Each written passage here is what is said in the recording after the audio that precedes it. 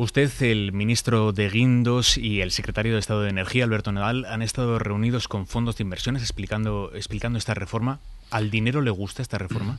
Sí, eh, la valoraron muy positivamente eh, por distintas razones. En primer lugar, porque según argumentaron, eh, se resuelve un problema que es un problema muy grave de la economía española. Esto a medio plazo es bueno también para las empresas del sector eléctrico porque aquí hay otra. Si sigue aumentando el déficit eléctrico y eso va directamente al balance de las compañías eléctricas, llega un momento que quiebran y como no puede quebrar el sector eléctrico, entonces tendría que ir directamente al precio del consumidor. La valoraron muy positivamente desde ese punto de vista, la dieron una reforma valiente con determinación e incluso diciendo que en otros países europeos muy probablemente tendrán que seguir la senda de esta reforma, puesto que también en otros países europeos fundamentalmente en Portugal, en Italia, en Alemania, también tienen problemas de sobrecostes en el sistema eléctrico. Aunque también tengo que reconocer, algunos de los inversores que vimos, particularmente aquellos que hace seis años recomendaron a fondo a muchas personas que se metieran en este negocio como consecuencia de esas primas muy elevadas que había, también nos pusieron de manifiesto la incertidumbre en la que ahora estaban. Pero globalmente hubo una valoración positiva. En ese viaje no les acompañó el, el ministro Montoro, arregladas ya todas las fricciones que surgieron durante, durante la redacción de la reforma. Sí, sí, pero, pero sí es que es normal, es decir, vamos a ver, eh, ni en la familia de uno el 100% de las decisiones las compartimos el 100% en el 100% de los casos. Y es normal que haya, digamos, aproximaciones diferentes, enfoques diferentes. Lo importante es que una vez que el gobierno, la mesa del Consejo de Ministros, adopta una decisión, esa decisión es una decisión que todo el gobierno defiende con uñas y dientes.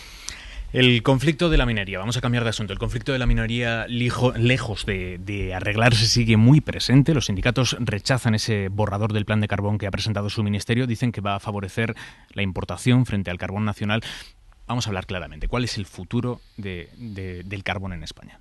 El futuro del carbón es que sigan abiertas, más allá del año 2019, aquellas explotaciones mineras que sean competitivas, aunque hayan recibido ayuda. ¿Por qué matizó el aunque? Porque hay una decisión de la Unión Europea del año 2010 que obliga a que el 1 de enero del año 2019 todas las explotaciones mineras que hayan recibido ayudas tienen que cerrar, sean o no sean competitivas. Luego, nosotros lo que estamos intentando plantear a la Unión Europea es, oiga, ¿de qué ha servido el darles ayuda si al final se convierten en competitivas y tienen que cerrar? Permitan que aquellas que sean competitivas puedan seguir abiertas. Ahora bien, por la razón contraria, aquellas que no vayan a ser competitivas, vamos a ir programando su cierre para no seguir dando ayuda sin die y esos recursos, en cambio, utilizarlos para otro tipo de programas. La readaptación, por ejemplo, a las personas que están trabajando en ese tipo de instalaciones para que puedan tener otro tipo de oportunidades. Ese es el planteamiento que hemos hecho a las empresas, que hemos hecho a los trabajadores.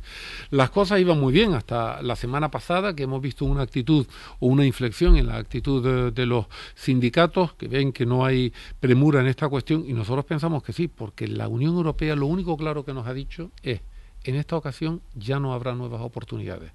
Por tanto, cuanto más espere España a adoptar una decisión en esta materia, será peor para España y para el sector. Queremos defender el sector y por eso queremos llegar a ese acuerdo. ¿Y qué porcentaje del sector va a sobrevivir? ¿Qué porcentaje del sector va a ser competitivo en 2018? En estos momentos no le puedo decir, pero le puedo hablar que desde el año 90, que empezaron los planes de reestructuración de la minería al carbón, fíjese usted, habían, se producían en España 19,6 millones de toneladas ahora se producen 6 millones. Por lo tanto, ha habido una reducción de más de dos tercios.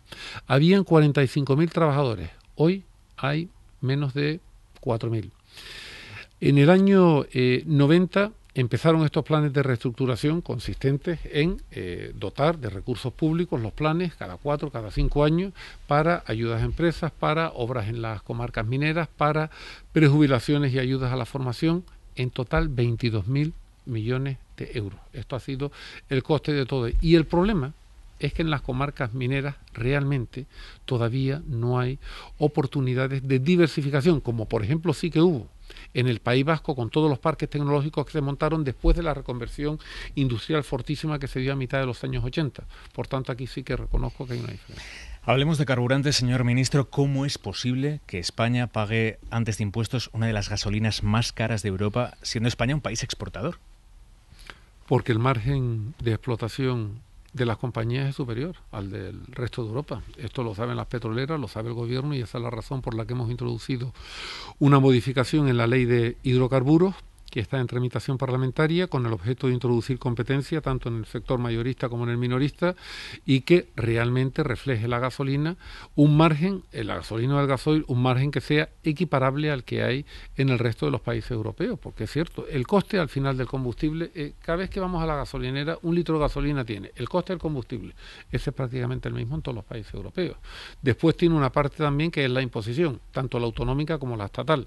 En España esa es inferior al resto de Europa. Y después está el margen comercial.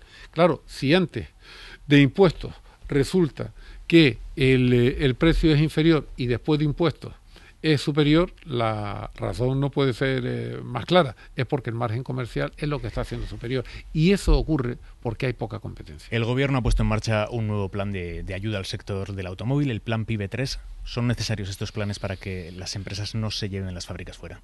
Sí, son muy necesarios y de hecho yo creo que la experiencia está siendo una buena experiencia porque no solo se consigue, digamos, eficiencia energética en el sentido de sustituir vehículos que están contaminando mucho, que tienen muchas emisiones, por vehículos nuevos que son menos contaminantes y más eficientes, sino que además estamos viendo el mercado de la fabricación, porque los coches no son, digamos, un producto que se fabrica, ahí está el stock y cuando empiezan a, a comprarlos pues van saliendo. No, no, cada coche que está en una línea de fabricación ya tiene dueño, ha sido, digamos, encargado casi, casi a la medida. Mueve el mercado de la fabricación, mueve eh, el mercado de la distribución, mueve el mercado de la publicidad y luego también tiene un retorno en, en términos de recaudación del impuesto sobre el valor eh, añadido. Por tanto, yo creo que es una medida muy eficaz y que está contribuyendo a que este sector, que es un sector importante de la industria española, pues pueda ir compensando, digamos, la situación de deterioro general que se observa en toda Europa. ¿Y alguna, alguna buena noticia a la vista que nos pueda insinuar sobre este sector tan importante, como dice usted, para la economía española? Por lo que, por lo que voy eh, oyendo, yo creo que alguna otra empresa va a anunciar de aquí a no mucho el que traerá también eh, carga de trabajo adicional a su factoría en España para lanzar algún otro modelo. ¿Comunidad? Eso ya no lo sé. Señor Soria, ministro de Turismo, uno de los pocos sectores que en esta dificilísima coyuntura aún nos dan buenas noticias. Aumenta el número de visitantes, aumentan los ingresos. ¿Cómo está siendo el mes de julio y cómo va a ser el mes de agosto? Está haciendo un buen, está haciendo en general un buen, un buen año, ¿no? El mes de julio y agosto está teniendo un buen comportamiento también. Tengo que aclarar algo, buen comportamiento en términos de llegadas de visitantes internacionales enero a junio en visitantes internacionales estamos en un aumento por encima del 6%. Y el gasto turístico, es decir, lo que gastan estos turistas que vienen enero-junio en comparación a enero-junio del año pasado, aumenta por encima del 8%. Ahora bien, eso, eh, digamos, es la buena noticia. La mala noticia es que el turismo nacional no va tan bien. El turismo que hacemos los españoles dentro de España. ¿Por qué? Porque estamos viajando menos y además otra cuestión, viajamos menos y pernoctamos menos. Estamos menos noches en hoteles y además cada vez se utiliza más cuando viajamos dentro de España o la casa familiar o la casa de eh, unos amigos, etcétera. Entonces, el turismo, digamos, nacional, mientras no haya una recuperación cierta de la economía en términos de empleo y sobre todo en términos de consumo, pues va a ser difícil que se recupere, pero el otro es el mejor sector que funciona ahora en la economía española. Ministro, ¿se está viendo afectada la acción del gobierno por esa delicadísima situación política que atraviesa ahora mismo el presidente Rajoy?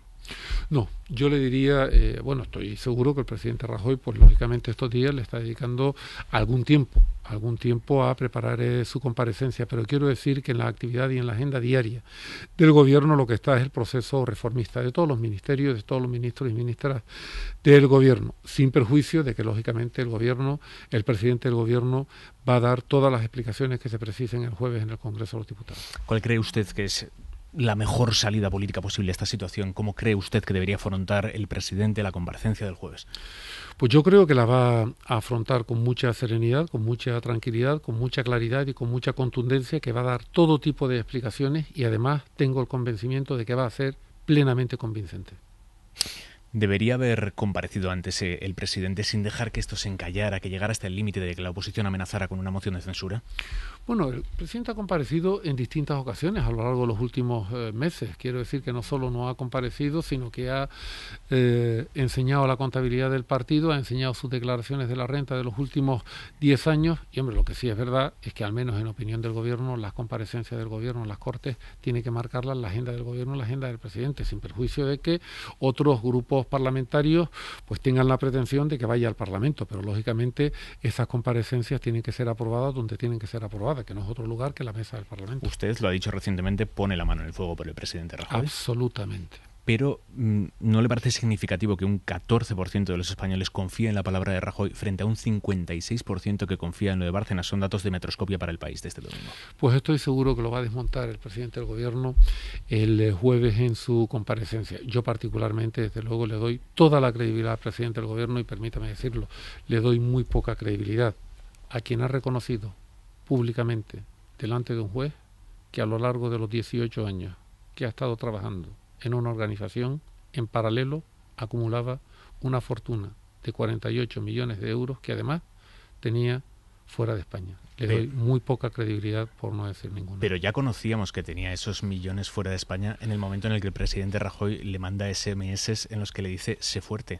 No, eso se conoce en el momento que lo reconoce. Eso se conoce en el momento que lo reconoce ante el juez. En el momento que reconoce que ha hecho eso es el momento en el cual corta todo tipo de comunicación el presidente del gobierno por una cuestión sencilla. Nadie, por el hecho de, estar imputado, yo mismo he estado en esta eh, situación, puede estar privado de la presunción de inocencia. Ahora bien, si alguien llega y dice, no, mire, es que yo reconozco que he hecho eso, entonces ya está reconociendo la comisión de un delito. Pero el gobierno tenía la comisión rogatoria de Suiza dos meses antes del último mensaje. No, el gobierno no tenía constancia hasta que lo ha reconocido, hasta que lo ha reconocido el propio ex eh, tesorero. José Manuel Mosoria, ministro de, de, Industria, de Energía y de Turismo, muchísimas gracias por haber estado esta mañana aquí en Hoy por Hoy. Muchas gracias, encantado.